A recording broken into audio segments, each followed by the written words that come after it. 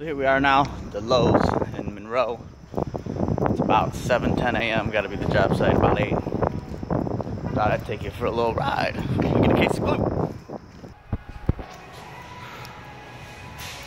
So the people here at Lowe's are a little shocked that I don't shop here very often.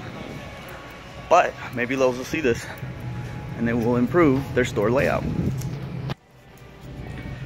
Not really sure what it is.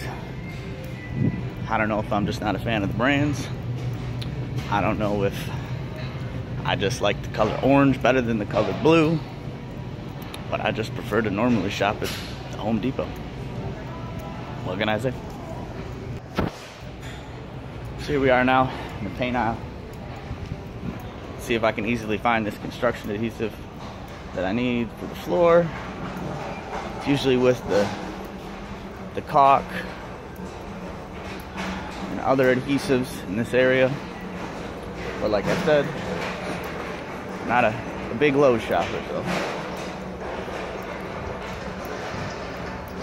Oh, excuse me. Almost ran into that guy. Here we are. Well, I gotta put the phone down now because I gotta carry one of those cases of glue and I got the coffee. Talk to you later.